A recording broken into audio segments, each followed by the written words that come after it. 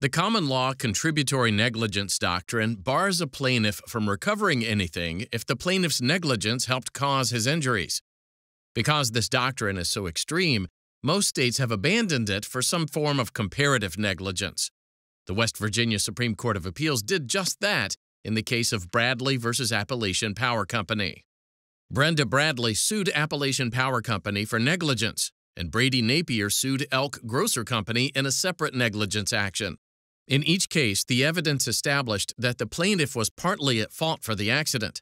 Bradley and Napier each sought to avoid the contributory negligence defense by requesting jury instructions on the comparative negligence doctrine.